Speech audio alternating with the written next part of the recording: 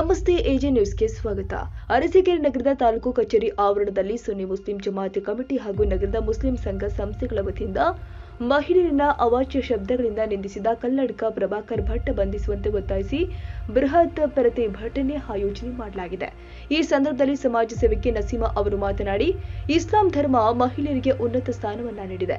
ಹೆಣ್ಣು ಮಕ್ಕಳ ಹುಟ್ಟು ಆವ ಲಕ್ಷಣ ಅಗೌರವ ಎಂದು ಕಾಣಿಸ್ತಾ ಇದ್ದ ಕಾಲಘಟ್ಟದಲ್ಲಿ ಹೆಣ್ಣಿನ ಹುಟ್ಟು ಮಾತಾ ಪಿತರ ಪಾಲಿನ ಅನುಗ್ರಹ ಎಂದು ಸಾರಿ ಹೆಣ್ಣು ಭ್ರೂಣ ಮತ್ತು ಶಿಶು ಹಕ್ಕಿಯನ್ನ ಮಹಾಪಾಪವೆಂದು ಸಾರಿ. ಪ್ರಪಂಚದ ಕೋಟಿ ಹೆಣ್ಣು ಜೀವಗಳು ಕಮರಿ ಹೋಗದೆ ಬದುಕುವಂತೆ ಮಾಡಿದ್ದು ಇಸ್ಲಾಂ ಧರ್ಮವಾಗಿದೆ ವಿಧಿವೆಯಾದರೂ ಅವಲಕ್ಷಣವೆನ್ನದೆ ಮರು ಮದುವೆ ಆಗುವ ವಿಧವಾ ವಿವಾಹಕ್ಕೆ ಪ್ರಾಶಸ್ತ್ಯ ಕಲ್ಪಿಸಿ ಅದೆಷ್ಟೋ ಕೋಟಿ ಹೆಣ್ಣು ಜೀವಗಳಿಗೆ ಮರುಜನ್ಮ ನೀಡಿದ್ದು ಇಸ್ಲಾಂ ಆಗಿದೆ ಸರ್ಕಾರ ಕೂಡಲೇ ಮುಸ್ಲಿಂ ಮಹಿಳೆಯರನ್ನ ಅತ್ಯಂತ ಅಶ್ಲೀಲವಾಗಿ ನಿಂದಿಸಿ ಕೋಮು ಪ್ರಚೋದನಕಾರಿಯಾಗಿ ಭಾಷಣ ಮಾಡಿದ ಕ್ರಿಮಿನಲ್ ಹಿನ್ನೆಲೆ ಇರುವ ಕಲ್ಲಡ್ಕ ಪ್ರಭಾಕರ್ ಭಟ್ಟನ ಕೂಡಲೇ ಬಂಧಿಸುವಂತೆ ಒತ್ತಾಯಿಸಿತು रहेंगे अगर आपने एक्शन न लिया तो फिर आवाम एक्शन लेगी इसलिए मेरा कहना यह है कि ऐसे लोगों पर कार्रवाई हो कहीं भी कोई जब हम मुसलमान होकर किसी के खिलाफ ತಾಯಿಯ ಸಂಬಂಧ ಮತ್ತು ತಾಯಿಯ ಸ್ಥಾನ ತಾಯಿಯ ಸ್ಥಾನಕ್ಕೆ ಸಮಾನವಾದ ಸ್ಥಾನ ಯಾವುದೂ ಇಲ್ಲ ತಾಯಿಗೆ ಇರುವಂತಹ ಗೌರವ ಸ್ಥಾನ ಮಾನ ಎಲ್ಲ ಸಮುದಾಯದಲ್ಲೂ ಎಲ್ಲ ಸಮಾಜದಲ್ಲೂ ಎಲ್ಲ ಯುಗದಲ್ಲೂ ಸಮಾನವಾಗಿದೆ ಇದು ಕೇವಲ ನಮ್ಮ ಮುಸ್ಲಿಂ ಸಮುದಾಯದಲ್ಲಿ ಮಾತ್ರ ಅಂತಲ್ಲ ಎಲ್ಲ ಸಮುದಾಯದಲ್ಲೂ ಎಲ್ಲ ಸಮಾಜದಲ್ಲೂ ಇಂತಹ ಸ್ಥಾನಮಾನ ಇರುವುದು ಕೇವಲ ಮಹಿಳೆಯರಿಗೆ ಮಾತ್ರ ಅದರಲ್ಲೂ ತಾಯಿಯ ಪಾದದಡಿ ಸ್ವರ್ಗ ಇದೆ ಅಂತ ಹೇಳಿದ್ದು ಮೊದಲ ಬಾರಿಗೆ ನಮ್ಮ ಇಸ್ಲಾಂ ಧರ್ಮ, ನಮ್ಮ ಪ್ರವಾದಿ ಮೊಹಮ್ಮದರು ಇದನ್ನು ಮೊದಲ ಬಾರಿಗೆ ಹೇಳಿರೋದು. ಎಲ್ಲರೂ ಗೌರವ ಕೊಡ್ತಾರೆ ತಾಯಿಗೆ. ಆದರೆ ನಮ್ಮ ಸಮಾಜದಲ್ಲಿ ತಾಯಿಯ ಪಾದದಡಿ ಸ್ವರ್ಗ ಇದೆ. ನಮ್ಮ ಇಸ್ಲಾಂ ಧರ್ಮದಲ್ಲಿ ಸತಿ ಪದ್ಧತಿ ಇಲ್ಲ. ಸತಿ ಪದ್ಧತಿ ಅಂದ್ರೆ ಏನು? ಗಂಡ ಸತ್ತ ತಕ್ಷಣ ಜೀವಂತ ಮಹಿಳೆಯನ್ನು ಸುಟ್ಟಿತ್ತ ಇದ್ರಲ್ಲ, ಆ ಪದ್ಧತಿ ನಮ್ಮಲ್ಲಿ ಇಲ್ಲ ವರದಕ್ಷಿಣೆ ಇದೆ, ಈಗ ಜಾರಿಯಲ್ಲಿ ಬರ್ತಾ ಇದೆ. ಆದರೆ ಸಾವಿರಾರು ವರ್ಷಗಳ ಹಿಂದೆ ನಮ್ಮ ಪ್ರವಾದಿ ಮೊಹಮ್ಮದ್ ರವರು ವರದಕ್ಷಿಣೆ ಕೊಡುವುದು ಹಾಗೂ ಪಡೆಯುವುದು ನಿಷೇಧ ಮಾಡಿದ್ದಾರೆ. ಇಂತಹ ಪವಿತ್ರವಾದ ಧರ್ಮ ಇದರ ಬಗ್ಗೆ ಅದರಲ್ಲೂ ವಿಶೇಷವಾದ ಸ್ಥಾನಮಾನ ಇರುವಂತಹ ಮಹಿಳೆಯರ ಬಗ್ಗೆ ಮಾತಾಡ್ಬೇಕಾದ್ರೆ ಪ್ರಭಾಕರ್ ಭಟ್ರು ಯೋಚನೆ ಮಾಡಿಲ್ವಾ? ಈಗ ಅವರು ಪ್ರಪಂಚ ನೋಡ್ಬೇಕಾದ್ರೆ ಈ ಭಾರತ ದೇಶದ ಪ್ರಜೆಯಾಗಿ ಹುಟ್ಟಿ ಒಂದು ಸಂಘಟನೆ ಅಧ್ಯಕ್ಷನಾಗಿ ಈ ರೀತಿ ಮಾತಾಡಬೇಕಾದ್ರೆ ಕಾರಣ ಯಾರು? ಒಂದು ಮಹಿಳಾ ತಾನೇ. ಒಂದು ಹೆಣ್ಣು ಜನ್ಮ ಕೊಟ್ಟಿದ್ದಕ್ಕೆ ತಾನೇ ಅವ್ರು ಈ ರೀತಿ ಮಾತಾಡ್ತಾ ಇರೋದು. ಅವ್ರಿಗೆ ಜನ್ಮ ನೀಡದೇ ಇದ್ದಿದ್ರೆ ಅಥವಾ ಹುಟ್ಟಿದಾಗ್ಲೇ ತಾಯಿ ಸಾಯಿಸದ್, ಸಾಯಿಸ್ತಿದ್ದಿದ್ರೆ ಈ ರೀತಿ ಮಾತಾಡೋಕೆ ಅವಕಾಶ ಇರ್ತಾ ಇತ್ತಾ? ಇದು ಕೇವಲ ಮುಸ್ಲಿಂ ಸಮುದಾಯದ ಮಹಿಳೆಯರಿಗೆ ಮಾತ್ರ ಅವಮಾನ ಅಲ್ಲ. ಎಲ್ಲಾ ಸಮುದಾಯದ, ಎಲ್ಲಾ ಸಮಾಜದ ಎಲ್ಲಾ ಮಹಿಳೆಯರಿಗೂ ಅವಮಾನನೇ.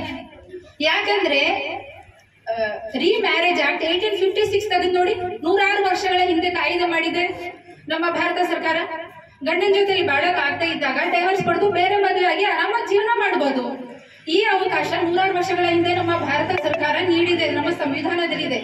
ಆದರೆ ಸಾವಿರಾರು ವರ್ಷಗಳ ಹಿಂದೆ ನಮ್ಮ ಪ್ರವಾದಿ ಮೊಹಮ್ಮದರು ನಮ್ಮ ಇಸ್ಲಾಂ ಧರ್ಮದಲ್ಲಿ ಈ ಅನುಕೂಲ ಮಾಡಿಕೊಟ್ಟಿದ್ದಾರೆ. ಧರ್ಮದ ಬಗ್ಗೆ ಪೂರ್ತಿ ಅರಿವಿಲ್ಲ, ಸಂವಿಧಾನದ ಬಗ್ಗೆ ಪೂರ್ತಿ ಅರಿವಿಲ್ಲ. ಕೇವಲ ಈ ರೀತಿ ಗಲಭೆ ಉಂಟು ಮಾಡಲು ಮಹಿಳೆಯರಿಗೆ ಟಾರ್ಗೆಟ್ ಮಾಡಿ ಈ ರೀತಿ ಮಾತನಾಡುವುದು ಸರಿನಾ? ಇಂತಹ ಅವರ ಸ್ಟೇಟ್ಮೆಂಟ್ ಇಂದ ಅವರ ಸಂಸ್ಕೃತಿ, ಅವರ ಸಭ್ಯತೆ, ಅವರ ವ್ಯಕ್ತಿತ್ವಕ್ಕೆ ಧಕ್ಕೆ ಉಂಟಾಗುತ್ತದೆ ಹೊರತು ನಮ್ಮ ಸ್ಥಾನಮಾನಕ್ಕೆ ಇವತ್ತು ಇಲ್ಲಿ ಬಂದು ನಿಮ್ ಮುಂದೆ ಮಾತಾಡ್ತಾ ಇದೀವಿ ಅಂದ್ರೆ ನಮ್ಮ ಭಾರತ ದೇಶ ನಮಗೆ ಕೊಟ್ಟಿರುವ ಸ್ವಾತಂತ್ರ್ಯ ಹಾಗೂ ಮಹಿಳೆಯರಿಗೆ ವಿಶೇಷವಾದ ಅಧಿಕಾರ, ರಕ್ಷಣೆ ಎಲ್ಲ ಕೊಟ್ಟಿರೋದ್ರಿಂದ ನಾವು ಈ ರೀತಿ ಇವತ್ತು ಬಂದಿದ್ದೀವಿ. ಅದನ್ನೆಲ್ಲ ಯೋಚನೆ ಮಾಡಬೇಕು. ಅದು ಬಿಟ್ಟು ಭಾರತ ಮುಸ್ಲಿಂ ಮಹಿಳೆಯರ ಬಗ್ಗೆ ಈ ರೀತಿ ಹೇಳ, ಹೇಳಿಕೆ ನೀಡಬಾರದು. ಕೇವಲ ಮುಸ್ಲಿಂ ಸಮುದಾಯದಲ್ಲಿ ಮಾತ್ರ ಮಹಿಳೆಯರು ಮ್ಯಾರೇಜ್ ಆಗ್ತಾ ಇಲ್ಲ. ಎಲ್ಲ ಸಮುದಾಯದಲ್ಲೂ ಆಗ್ತಾ ಇದ್ದಾರೆ. ಈಗಿನ ಆಧುನಿಕ ಯುಗದಲ್ಲಿ ಮೊದಲಿನ ತರ ಇಲ್ಲ. ನಮ್ಮ ಇಸ್ಲಾಂ ಸಮುದಾಯದಲ್ಲಿ ಆತ್ಮಹತ್ಯೆ ಮಾಡಿಕೊಳ್ಳುವುದು ಅಪರಾಧ ಸೂಸೈಡ್ ಕ್ರೈಮ್ ಗಂಡನ ಜೊತೆಲಿ ಬಾಡೋಕಾಗದೆ ಇದ್ದಾಗ ಸೂಸೈಡ್ ಮಾಡ್ಕೋಬಾರ್ದು. ಮತ್ತೆ ಪುನರಾರಂಭ ಮಾಡಬೇಕು ಜೀವನ ಅನ್ನೋದಕ್ಕೆ ಅವಕಾಶ ಇದೆ. ಅದೇ ಈಗ ಕಾನೂನಲ್ಲೂ ಇರೋದು. ಈಗ ಆಧುನಿಕ ಯುಗದಲ್ಲಿ ಬ್ಲೈಂಡ್ ಲೀವ್ಸ್ ಎಲ್ಲ ತಡೆಗಟ್ಟಿ ಮಹಿಳೆಯರು ಸುಖವಾಗಿ, ಸಂತೋಷವಾಗಿ ಜೀವನ ಮಾಡ್ತಾ ಇದ್ದಾರೆ. ಅದನ್ನ ಎಲ್ಲಾ ಸಮುದಾಯದಲ್ಲೂ, ಅಲ್ಲೂ, ಆ- ಸಮುದಾಯದಲ್ಲಿ, ಅವ್ರ ಎಕ್ಸಾಂಪಲ್ ಈ ಸಮುದಾಯದಲ್ಲಿ ಇವ್ರ ಎಕ್ಸಾಂಪಲ್ ಅಂತ ಹೇಳಿ ನಾವು ಎಲ್ಲಾ ಸಮುದಾಯದವರ ಬಗ್ಗೆ ವೈಯಕ್ತಿಕವಾಗಿ ಕಾರಣಗಳನ್ನು, ಅವರ ಎಕ್ಸಾಂಪಲ್ಗಳನ್ನು ಕೊಟ್ಟು ಫೇಕ್ ಪಬ್ಲಿಸಿಟಿ ಪಡ್ಕೊಳ್ಳುವಂತ ಅವಶ್ಯಕತೆ ನಮಗೇನಿಲ್ಲ ಸಾವಿರಾರು ವರ್ಷಗಳಿಂದ ನಮ್ಮಂಥ ಲಕ್ಷಾಂತರ ಸಾವಿರಾರು ಕೋಟ್ಯಾಂತರ ಮಹಿಳೆಯರಿಗೆ ನಮ್ಮ ಇಸ್ಲಾಂ ಧರ್ಮ ಏನು ರಕ್ಷಣೆ ಕೊಡಬೇಕು, ಏನ್ ಗೌರವ ಕೊಡಬೇಕು, ಏನ್ ಅಧಿಕಾರ, ಏನ್ ಸ್ವಾತಂತ್ರ್ಯ ಕೊಡಬೇಕು, ಅದ್ ಕೊಡ್ತಾ ಬಂದಿದೆ. ಮುಂದಕ್ಕೂ ಪ್ರಪಂಚ ಇರುವವರೆಗೂ ಅದೆಲ್ಲ ಕಾಯಂ ಇರುತ್ತೆ. ಇದಕ್ಕೆ ಯಾರ ಒಂದು ಸ್ಟೇಟ್ಮೆಂಟ್ ಇಂದ ಏನು ತೊಂದರೆ ಆಗೋದಿಲ್ಲ ಅಂತ ಹೇಳ್ತಾ ನಾನು ಈ ಮಾತನ್ನ ಮುಗಿಸುತ್ತೇನೆ. ಪ್ರಭಾಕರ್ ಭಟ್ ಅವರ ಈ ಒಂದು ಮನವಿ ಪತ್ರವನ್ನು ನಾವು ನೀಡುತ್ತೇವೆ. ಮಾನ್ಯರೇ ಕಲ್ಲಡ್ಕ ಪ್ರಭಾಕರ್ ಭಟ್ರ ಮುಸ್ಲಿಂ ಮಹಿಳೆಯರ ಕುರಿತು ಅವಹೇಳನಕಾರಿ ಹಾಗೂ ಸೋಮು ಪ್ರಚೋದಿತ ಹೇಳಿಕೆಗೆ ಅರಸೀಕೆರೆ ತಾಲೂಕು ಮುಸ್ಲಿಂ ಸಮಾಜವು ತೀವ್ರವಾಗಿ ಖಂಡಿಸುತ್ತದೆ. ಇತ್ತೀಚೆಗೆ ಶ್ರೀರಂಗಪಟ್ಟಣದಲ್ಲಿ ನಡೆದ ಧಾರ್ಮಿಕ ಕಾರ್ಯಕ್ರಮವೊಂದರಲ್ಲಿ ಕನ್ನಡಕ ಪ್ರಭಾಕರ್ ಭಟ್ ಮುಸ್ಲಿಂ ಮಹಿಳೆಯರನ್ನು ಉದ್ದೇಶಿಸಿ ನೀಡಿದ ಹೇಳಿಕೆಯು ಪ್ರಚೋದಕಾರಿ ಪ್ರಚೋದನಕಾರಿಯಾಗಿದೆ. ಭಟ್ ಈ ಮೂಲಕ ಒಂದು ನಿರ್ದಿಷ್ಟ ಸಮುದಾಯವನ್ನು ಗುರಿಯಾಗಿಸಿ, ಮತೀಯ ಉದ್ವಿಗ್ನತೆ ಸೃಷ್ಟುವ ಮತ್ತು ಕೋಮು ಗಲಭೆಯನ್ನು ಹುಟ್ಟುಹಾಕುವ ರೀತಿಯ ಹೇಳಿಕೆ ನೀಡಿದ್ದಾನೆ. ಸಂವಿಧಾನ ವಿರೋಧಿ, ಅಲ್ಪಸಂಖ್ಯಾತರ ಹಾಗೂ ಮಾನವ ಹಕ್ಕುಗಳ ಉಲ್ಲಂಘನೆಯ ಜೊತೆ ಮುಸ್ಲಿಂ ಮಹಿಳೆಯ ಗೌರವ ಘನತೆ, ಘನತೆಗಳಿಗೆ ಮುಂದುಂಟು ಮಾಡಿರುವ ಇವರ ಕೋಮುದ್ವೇಷಿ ಹೇಳಿಕೆ ಖಂಡನೀಯ.